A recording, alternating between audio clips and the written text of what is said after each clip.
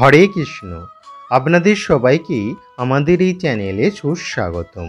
আজকের অনুষ্ঠানে আমরা আলোচনা করব আসন্ন শয়ন একাদশী সম্পর্কে।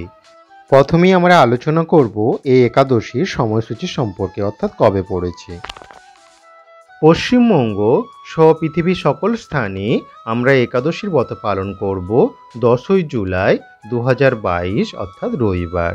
এর কারণ পশ্চিমবঙ্গের ক্ষেত্রে একাদশীটা পড়েছে নয় জুলাই সকাল এগারোটা চুয়াল্লিশ মিনিটে অর্থাৎ সূর্য উদয়ের অনেক পরে এবং ব্রাহ্ম মুহূর্ত স্পর্শ করেনি তাই আমরা একাদশীর ব্রত দশই জুলাই দু বাইশ এবং বাংলার পঁচিশে আষাঢ় চোদ্দোশো উনতিরিশ অর্থাৎ রবিবার আমরা একাদশীর ব্রত পালন করব। এরপর আমরা এই একাদশী নামকরণে তাৎপর্য সম্পর্কে আলোচনা করব। অর্থাৎ এই একাদশীর নাম কেন? শয়নী একাদশী। এর কারণ ভবিষ্যৎ পুরাণে বর্ণনা করার সময় বলা হয়েছে যে এই দিন থেকে ভগবান বিষ্ণু অন্যান্য দেবতাদের সাথে চার মাসের জন্য যোগনিদ্রায় চলে যান। এই দিন থেকেই চতুর্মাস্যবতী সূচনা হয়ে থাকে। এই জন্য এই চার মাসে কোনো মাঙ্গলিক কার্য, যজ্ঞ ও ইত্যাদিতে দেবতাদের আহুতি দেয়া হয় না। এতে গেল শাস্ত্রভিত্তিক কারণ। আর এই চতুর্মাসও কেউ প্রাধান্য দেওয়ার বৈজ্ঞানিক কারণ হল, এই দিন থেকে সূর্যদেব দক্ষিণায়নে ভ্রমণ করে। আর এই সময়কে বর্ষা ঋতু মানা হয়। এই জন্য এই দিনগুলি মনুষ্য কোনো ভৌতিক কাজে সংলগ্ন না থেকে অধিক থেকে অধিক মাত্রায় নিজের আধ্যাত্মিক উন্নতির জন্য প্রয়াস করতে থাকেন। এই রকম কামনা করাই হয়ে থাকে। প্রাচীনকালে সন্ন্যাসী বা কোনো তপস্বী এই চার মাস কোনো জায়গায় ভ্রমণ করতেন না। তারা কেবল একই জায়গায় থেকে অধিক থেকে অধিক মাত্রায় হরিকথা, হরিকীর্তন করতেন জবধ্যান করতেন। যদিও আপনি আপনার ভক্তিতে প্রগতি করতে চান, তবে এই সময়ই আপনার জন্যে সর্বোত্তম সময়। এরপর আমরা আলোচনা করব এই একাদশীর বতকতা সম্পর্কে। একবার মহারাজ যুধিষ্ঠি বললেন, হে ভগবান শ্রীকৃষ্ণ, হে জনার্দন আষাঢ় মাসের শুক্লপক্ষের একাদশীর কী বা নাম? এর মহিমাই বা কী? তা আমাকে কৃপা করে বলুন। শ্রীকৃষ্ণ বললেন বম্ভা এই একাদশীর সম্পর্কে দেবর্ষী নারদকে যা বলেছিলেন, আমি সেই আশ্চর্যজনক কথা আপনাকে বলছি। শ্রী বম্বা বললেন, হে নারদ, এ সংসারে একাদশীর মতো পবিত্র আর কোনো ব্রত নেই। সকল পাপ বিনাশের জন্য এই বিষ্ণুব্রত পালন করা একান্ত আবশ্যক। যে ব্যক্তি এই প্রকার পবিত্র পাপ নাশক এবং সকল অভীষ্ট পদাতা একাদশীর ব্রত না করে তাকে নরকগামী হতে হয়। আষাঢ় মাসের শুক্লপক্ষের এই একাদশী শয়নী নামে বিখ্যাত। শ্রী ভগবান ঋষিকেশের জন্য এই ব্রত পালন করতে হয়। এই ব্রতের সম্বন্ধে এক মঙ্গলময় পৌরাণিক কাহিনী আছে। আমি এখন তা আপনাকে বলছি, আপনি তা মনোযোগ সহকারে শ্রবণ করুন। বহু বছর পূর্বে সূর্য বংশে মান্ধাতা নামে একজন রাজর্ষি ছিলেন। তিনি ছিলেন সত্য প্রতিজ্ঞ এবং প্রতাপশালী চক্রবর্তী রাজা। প্রজাদেরকে তিনি নিজের সন্তানের মতো প্রতিপালন করতেন। সেই রাজ্যে কোনো রকম দুঃখ, রোগ, ব্যাধি, দুর্ভিক্ষ, আতঙ্ক, খাদ্যাভাব অথবা কোনো অন্যায় আচরণ ছিল না। এইভাবে বহুদিন অতিবাহিত হলো, কিন্তু একসময় হঠাৎ দৈব দুর্বিপাকে ক্রমাগত তিন বছর সে রাজ্যে কোনো বৃষ্টি হয়নি। দুর্ভিক্ষের ফলে সেখানে দেবতাদের উদ্দেশ্যে দানমন্ত্রীর সাহা সদা ইত্যাদি শব্দও বন্ধ হয়ে গেল। এমনকি বেদপাঠও ক্রমশ বন্ধ হলো। তারপর প্রজারা রাজার কাছে এসে বলতে লাগল, হে মহারাজ, দয়া করে আমাদের কথা শুনুন। শাস্ত্রে জলকে নার বলা হয়, আর সেই জলকে ভগবানের অয়ন, অর্থাৎ নিবাস। তাই ভগবানের আরেক নাম নারায়ণ। মেঘরূপে ভগবান বিষ্ণু সর্বত্র বাড়ি বর্ষণ করেন। সেই বৃষ্টি থেকে অন্ন এবং অন্ন খেয়ে প্রজাগণ জীবন ধারণ করেন। এখন সেই অন্নের অভাবেই প্রজারা ক্ষয়প্রাপ্ত হচ্ছে।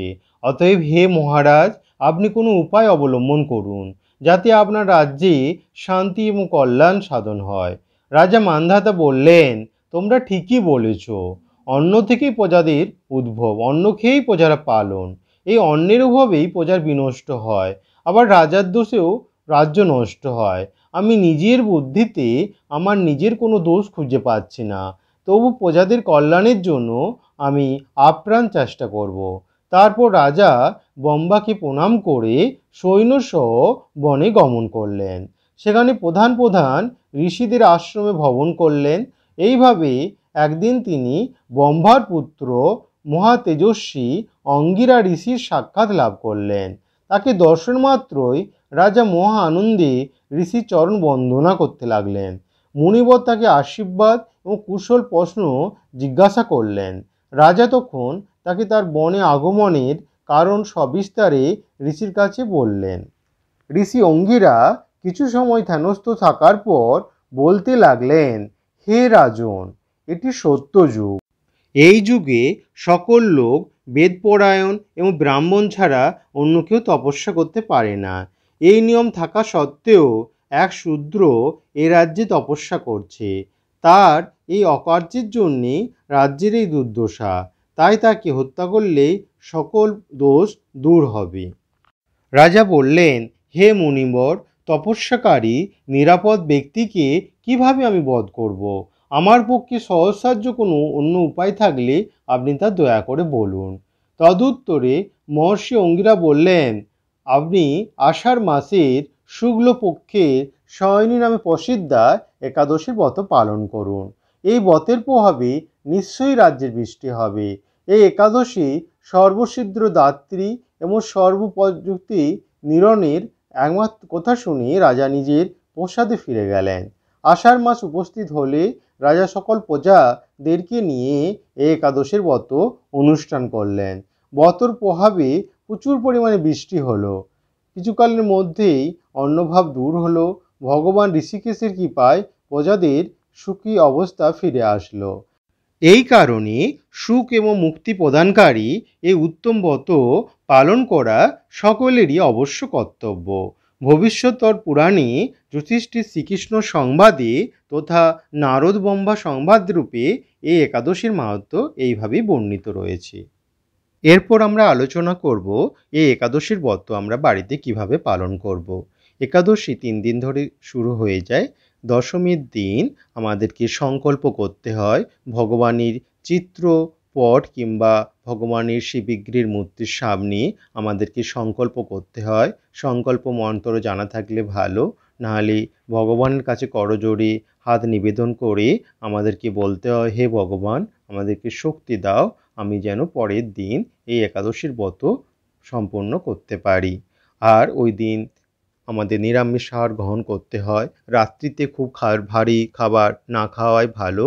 রাত্রিতে নটা, দশটার মধ্যে খেয়ে নিতে পারলে ভালো। খাওয়ার পর আমাদের ভালো করে দাঁত মাজন করে নিতে হয় যাতে করে কোনো খাবার না লেগে থাকে। অর্থাৎ পঞ্চশস্য যদি থাকে, পরের দিন সেটা আমরা কোনোভাবে খাইয়ে নিতে পারি।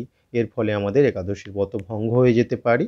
আর একাদশীর দিন আমাদের ব্রহ্ম মুহূর্তে ঘুম থেকে উঠে আমাদের প্রাতকর্ম, স্নান ইত্যাদি সেরে আমাদেরকে ভগবান নেচিত্র পট কিংবা শিববিগ্রহের সামনে আমাদেরকে মঙ্গল আরতি এবং ভগবানের উদ্দেশ্যে আমাদের প্রসাদ নিবেদন করে আমাদের পূজা অর্চনা করতে হয় এবং ওই দিন অধিক থেকে অধিক মাত্রায় হরিকৃষ্ণ যে মহামন্ত্র সেটা জপ করতে পারলে ভালো।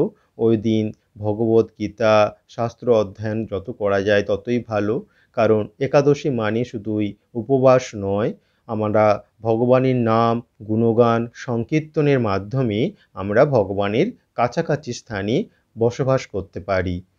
আর এইভাবে আমরা ভগবানকে সন্তুষ্ট করতে পারি। একাদশীর দিন যদি নির্জল উপবাস থাকতে পারা যায় তাহলে ভালো। যদি তা সম্ভব না হয়, আমাদের শরীর যদি তা না পারে, তাহলে আমরা অনুকল্প প্রসাদ গ্রহণ করতে পারি। আর এই বিষয়ে আমার অন্যান্য ভিডিওতে তা বর্ণনা আছে। আর একাদশী করলে পারণ কিন্তু তার পরের দিন নির্দিষ্ট সময়ের মধ্যেই করতে হয়। ওই পারণের দিন ব্রাহ্ম মুহূর্তে ঘুম থেকে ওঠে, আমাদের প্রাতকর্ম সেরে, স্নান করে, ভগবানের মঙ্গল আরতি করে, আমরা যে পঞ্চশস্য বর্জন করেছিলাম তা ভগবানকে নিবেদন করে আর পঞ্চশস্যের কোনো একটা খাদ্য গ্রহণ করে আমরা একাদশীর ব্রত সম্পূর্ণ করব। আর ওই দিন ব্রাহ্মণকে ভোজন এবং উপযুক্ত দক্ষিণা দান করতে পারলে খুবই ভালো হয়। হরে কৃষ্ণ। এই ছিল আজকের ভিডিও। যদি আপনাদের এই ভিডিওটি ভালো লেগে থাকে, তবে অবশ্যই লাইক, কমেন্ট এবং শেয়ার করতে ভুলবেন না এবং আমাদের চ্যানেলটিকে সাবস্ক্রাইব করে আমাদের পাশে থাকুন। ধন্যবাদ।